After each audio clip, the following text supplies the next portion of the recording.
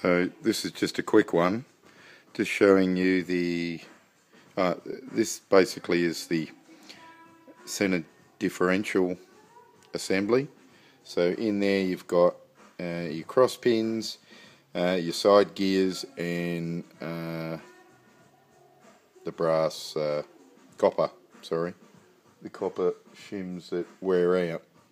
Okay, so normally I whip that bearing off, whip the bearing off at the bottom, strip it all, strip that center diff, rebuild it, new bearings, do all the preload again. Uh, that's part of the clunk, clunk, clunk. So I get a shaft, put it in here. So there's very little resistance on that. So that's basically the side gear spinning there. That's typical of a TDCi. Um, terrible preload from factory.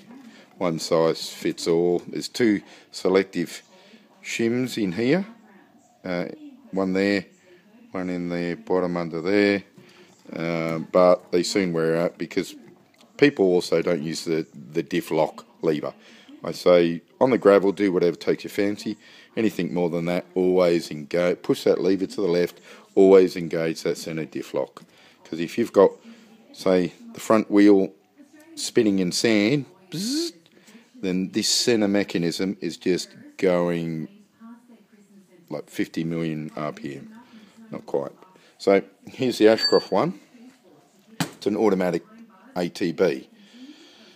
Uh, you can uh, automatic torque bias, something like that. So put that in.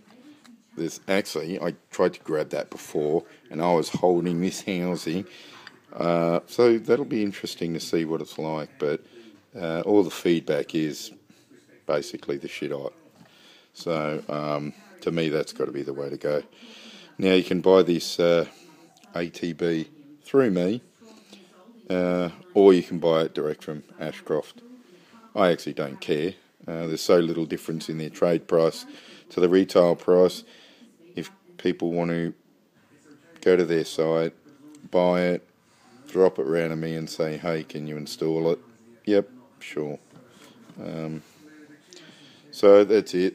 That's the housing that uh, the centre diff that needs all stripping and cleaning and redoing. Uh, if we go over to the transfer case, again, uh, it was fairly low mileage. The customer really doesn't want to go to uh, the added expense of rebuilding the transfer case. So basically, on this, we're just doing the centre diff.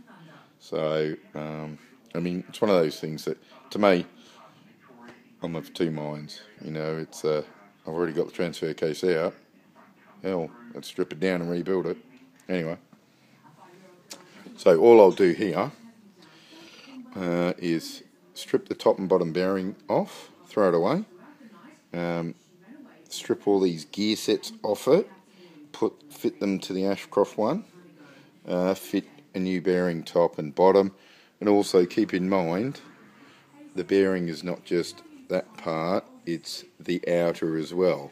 So there's one of the outers there. So don't do a half job uh, and just replace the bearing part, replace the outer of the bearing because um, they wear together as a pair. Okay, so when I strip this housing, I'll strip that out. Uh, I'll just tap it out and do the whole thing. So that's all pretty interesting, I guess. That's the Ashcroft.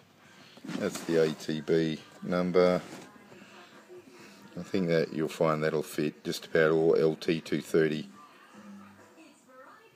uh, transfer cases. So not going to bore you anymore. I'm going to do all this and leave you with it.